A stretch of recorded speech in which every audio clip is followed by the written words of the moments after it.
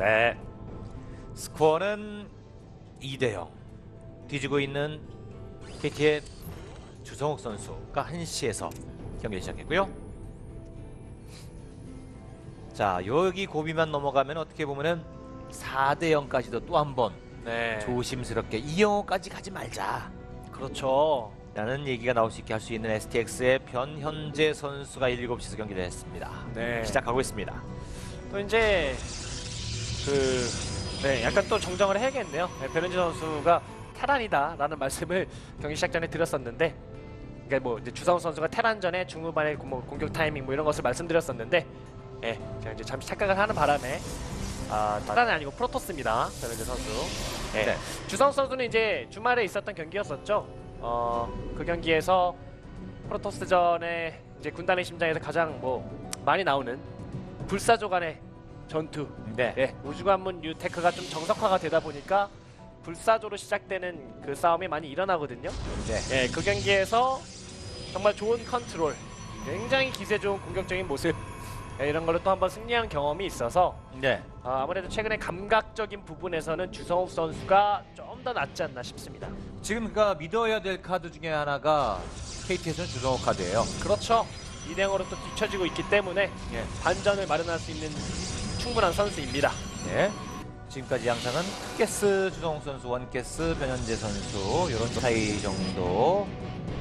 가스를 두 동 가고 있고 네. 변현재 선수는 하나만 가고 있고. 프로토스전에서는 충분히 투게스를 짓지만 가스 조절을 뭐 두 마리만 넣는다든지 하는 플레이도 종종 나오고 있어서 예. 좀 더 상황을 지켜봐야 되는 아, 초반이고요. 일단은 기본적으로 공중 간의 거리는 가까운 편에 속합니다. 앞마당 멀티가 기본적으로 있고 두 번째 멀티를 어느 지역에 가져가느냐에 따라서 나로 스테이션에서의 경기 양상은 많이 달라지기 마련인데 예.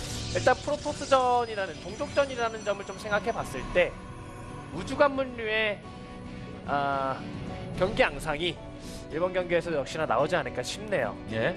이제 투게스 가기 시작합니다. 어, 변현재 선수도 말이죠. 그리고 이어서 올라가는 건물은 관문 하나가를 더 가져가고 있는 변현재 선수의 모습이었습니다. 네, 기본적으로 찌르디에 대한 대비로 관문 하나를 올려주는 모습인데, 주성 선수는 원관문. 네. 우주 관문을 좀 빨리 올릴 생각인가요? 어, 자 다음 건물이 아직 예, 모선액을 일단 찍어내고 있네요. 네. 모선액을 찍고 있습니다. 찍어내고 있습니다. 주성 선수. 아직 다른 건물은 추가를 해주지 않고 있는 모습인데 그 뒤로 가서 무엇을 소환하느냐? 바로 황혼의회를 가고 있습니다. 오, 이거. 황혼의회입니다. 성욱 선수. 근데 지금 타이밍을 봐서는 네. 예, 암흑성소를 이제 뭐 생각을 아예 배제를 할 수는 없겠지만 이제 뭐 150, 150으로 또 이제 자원이 조정이 됐기 때문에 네. 예, 자유의 날개 때에 비해 좀 더 암흑성소의 선택을 많이 받는 건 맞긴 맞아요. 예, 네. 맞긴 맞는데 변현재에게 한번 이런 전략을 걸었었다는 것이 어, 좀 이제 주성욱에게 고민을 하게끔 하는 예, 또 써도 될까? 또 써도 먹힐까? 어, 아, 올라가네요. 예, 그리고 또 이제 이런 선택을 하기 쉽지 않은 것이 우주관문 테크를 탔었을 때 예언자를 뽑게 돼버리면은 힘이 네. 많이 빠질 수가 있거든요. 예지를 쓰면 보이죠. 근데 네. 이제 그걸 배제하고 그걸 폐지해버리고 그냥. 자, 또 쓰면 먹힐까? 근데 또 써요. 그리고 네. 관문은 세동. 뭔가 좀 엇갈리는 것 같죠? 로봇공학 시설이 지금 올라가기 시작하고 있는데 관측선이 나오기 그러려면은 시간 네. 타이밍이 문제는 예. 예, 그 주상욱 선수가 암흑 선수가 완성이 되고 뭐 이제 암흑 기사를 활용을 하면서 상대방의 끝을 낼 생각이 아니라 예. 예, 이제 모선액은 살아 돌아왔고요. 예. 예, 뭐 암흑 기사가 좀 실패로 돌아간다고 하더라도 예, 추가적으로 이렇게 몰래 수정탑 지어 놓으면서 사전 작업을 해놓는 이유는 뭐 다크페퍼로도 있겠지만 예. 예, 추가적으로 광전사의 돌진 업그레이드 빨리 눌러주면서 한번 들이붙겠다는 생각도 아 있어 보입니다. 어, 근데 병력이 미리. 그러니까 그 전에 오히려 짱! 예, 역장 치고 막아서고 있는 병력의 규모가 좀 적습니다. 이게 파수기를 추가로 뽑아내줘야 이게 되는 상황인데요. 그렇죠, 그렇죠. 말이 제 말이 딱 그 말입니다. 위로 크로스가 오히려 엇- 엇갈릴 수가 있습니다. 안으로 들어가서 자, 아, 이거는 예, 이렇게 되면 암흑 기사는 소환할 수밖에 없는 상황이에요 본진 쪽에. 그렇죠. 공격형이 아니라 수비형으로 암흑기사 써야 되는데 자 일단 공격가 아, 그냥 뭐 공격가는 자 공격까지 왜 이렇게 병력이 없어? 이상한데? 네, 어차피 아, 일단 아무것도 하나? 하긴 했는데 아무것도 봤어요. 아, 피해 너무 많이 누적되고요. 네, 자 이거 변현재 선수. 아, 나와 있어요. 아 이거 안 통해요. 안 통해요. 왜? 댄지 너무 큽니다 이거 KT. 아, 이거 망했는데요. 진짜 망했는데요. 망했는데 암흑기사. 으아. 아, 1킬도 못했어요. 이 지역은 탐사정이 남아나지 않습니다. 아, 일꾼 번호. 아, 아, 8, 7.